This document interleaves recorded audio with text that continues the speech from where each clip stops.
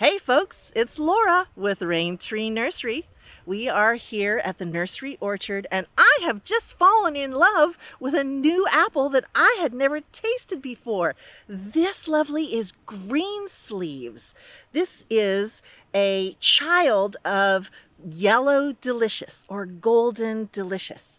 This was crossed with James Grieve. It was released for sale in 1966 and oh my gosh, it's wonderful. It has that super sweet, tender, very strong apple flavor that I love so much about a well-grown golden delicious. But it's got that lovely shape, the old European shape of the James Grieve. This came from the East Malling Station in Britain.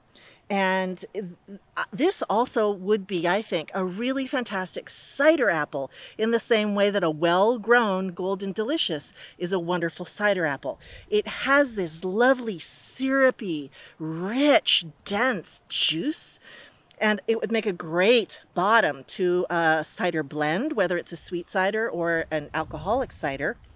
It, if you can't grow Kingston Black or Arkansas black because they're not disease resistant enough for you, then anybody down to USDA zone 4 could grow Greensleeves.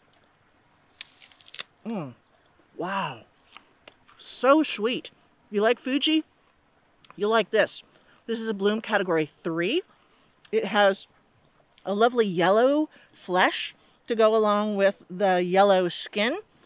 This hangs for an unusually long time on the tree too.